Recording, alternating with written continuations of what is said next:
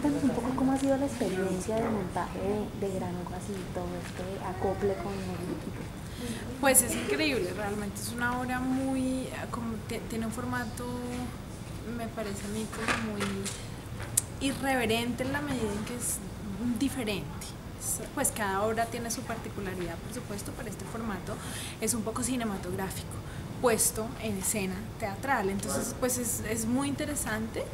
Em, em, me, ha, me ha parecido muy chévere que es milimétrico, es como un reloj. No hay forma de improvisar, no hay forma, digamos, de, no tenemos mucho espacio para hacer las cosas de una manera así sea un poquito diferente porque em, la propuesta escénica es muy interesante, son cosas que entran, salen, van, vienen, entonces como una gran coreografía y eso lo hace muy interesante pero al mismo tiempo muy exigente. El elenco maravilloso em, y bueno, no, pues muy, muy, contenta, con muchísima expectativa a ver cómo nos va. Cuéntanos un poco de, tu personaje, cuéntanos qué caracteriza tu personaje. Mi personaje, como pueden ver, em, es de la costa. como pueden ver, es, es costeña.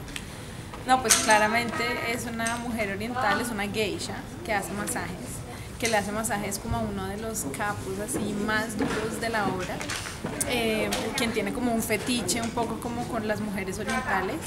Eh, yo como tengo mis raíces perdidas japonesas, traté de exaltarlo. Y, y bueno, es un personaje muy divertido porque ella es monosílaba. Ella solo dice sí y no, no dice nada más.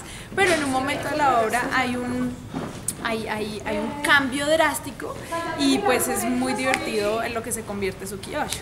Entonces, eh, no, un personaje divertido y, creo que les va a gustar.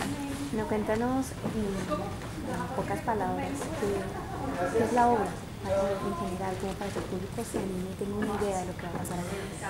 Es muy interesante porque como yo la veo, la obra es como estar viendo una película, pero actuada en teatro. Entonces eso le da un matiz y le da una particularidad muy especial. Eh, sí, es como si los personajes de una película se hubieran salido de la pantalla y estuviera pasando la escena de la película, pero en, teatro. Entonces creo que eso es una propuesta muy arriesgada, pero al mismo tiempo muy interesante. Para finalizar, por favor regálanos un saludo para la revista Andrea, invitando a venir a verla. Vale. Hola. Mi nombre es Natalia Durán. Eh, le invito a todos los seguidores de la revista Bombea para que vengan a ver Granujas en el Teatro Nacional. No se la pueden perder. Super plan para la semana o para el fin de semana. Así que aquí los espero.